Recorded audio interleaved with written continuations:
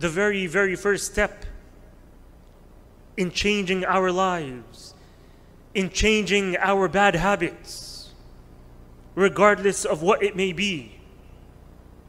The very first step is to acknowledge these bad habits, to acknowledge them, to accept them, to look for them, to ask, What are my shortcomings?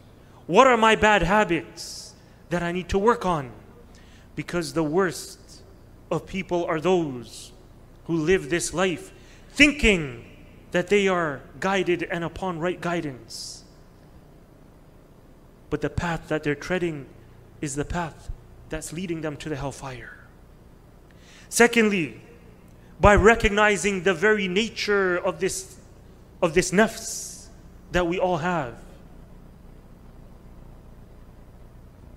إن النفس لأمارة بالسوء إلا ما رحم ربي Yusuf alayhi salam, he said that this nafs, this nafs within us, it inclines towards evil, except those upon whom my Lord has had mercy, and they are few among the majority.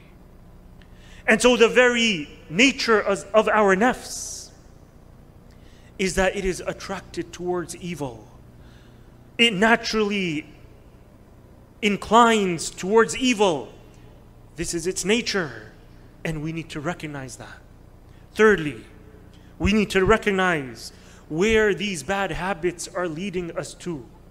Many of us, we look at them, at our bad habits, and we say that they're small, they're not a big deal.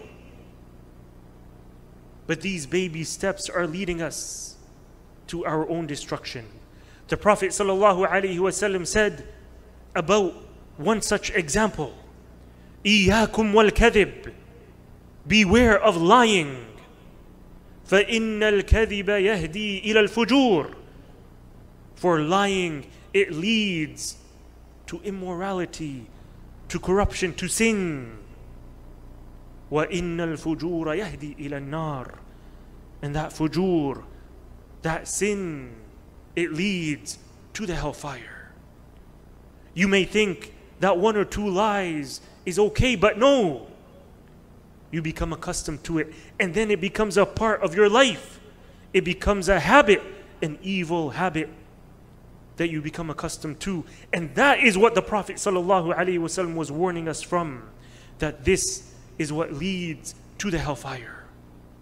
Fourthly, recognize the danger of delaying. Many of us, we think we're young. We have an entire lifetime ahead of us. We have a lot of time to transform ourselves, to change ourselves. But the reality is that this is only a delusion that has been placed in our minds by our enemy, by shaitan. How many of us can guarantee ourselves to live even another day. If you work hard today, if you put in the effort today, if you struggle against your nafs today, then tomorrow in the akhirah you will rest in peace.